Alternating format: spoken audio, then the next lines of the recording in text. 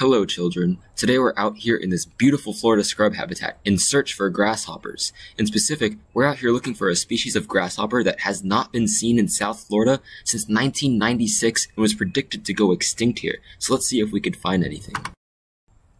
This right here is a pretty common species called Floritettix coquinae.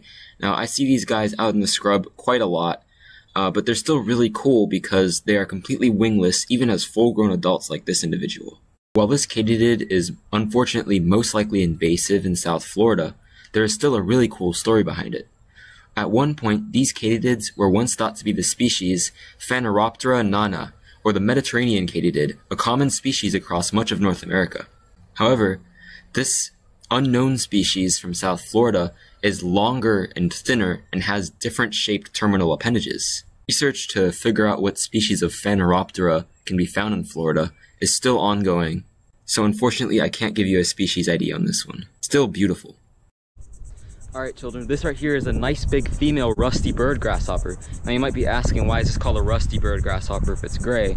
That's because one of the more common color phases of this species is a reddish brown color, but they're actually quite variable in coloration ranging from this gray color to more of a brownish gray to some species being that bright orangey red color which is why they're called the rusty bird grasshopper.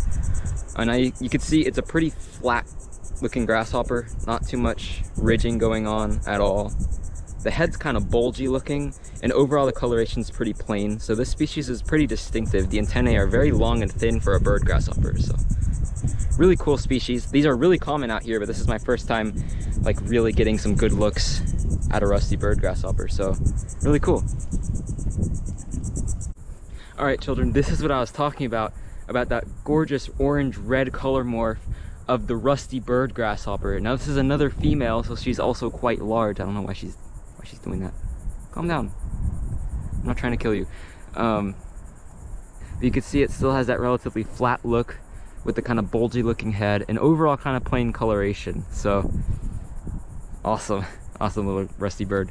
At first glance, this might look like just another rusty bird grasshopper to you, but this is actually a mischievous bird grasshopper, a very similar species to the rusty bird grasshopper, but mischievous are a little smaller, have much thicker antennae, and a much more ridged top of the thorax. Most of the time, mischievous bird grasshoppers like this one also have a pale stripe running down the thorax. Right here is my lifer Texas bush katydid, a member of the genus Scudderia, which are almost completely indistinguishable without looking at a very specific part of the male's terminal appendages, which is that supraanal plate, or that thing on the top of the end of the abdomen that's kind of shaped like a T in this one. Different species' males have different shaped supraanal plates. We have our target species, the spine cercus shortwing grasshopper, or Melanoplus indicifer.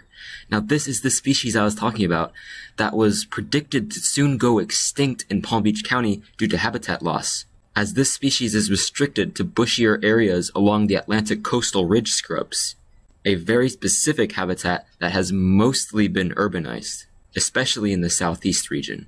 However, the species is still known from populations farther north along the Atlantic coastal ridge scrub, like in Brevard County, Florida, but seeing one this far south was an absolute treat.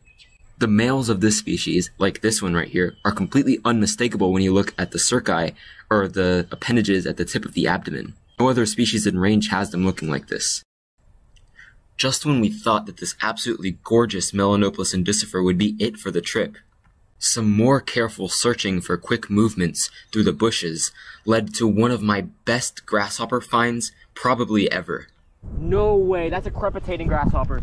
Palm Beach County first record. Palm Beach County first record right here, crepitating grasshopper. Spharagemon crepitans. This is the grasshopper I was talking about. This species is a member of the genus Spharagemon, which, with my experience with other species in that genus, are usually quite flighty and hard to catch. However, this individual was just sitting right here, letting me get super close. So let's see if we could catch her. There we go. Got it. Grabbed it. Yes!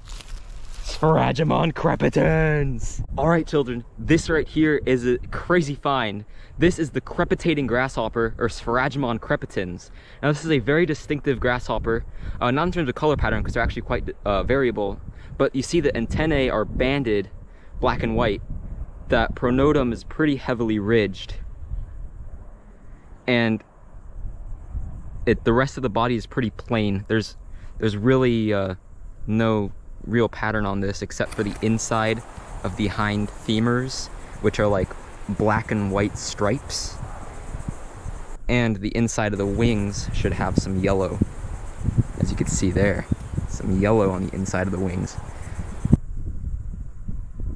Overall, a pretty plain and not very interesting looking grasshopper, but a lifer for me and a completely unexpected find because this is the farthest south record I believe ever known of this species right here. I can't let her fly out because I need to take pictures. This is incredible right here. This is just... Ah. All right, children, I'm gonna release this gorgeous crepitating grasshopper.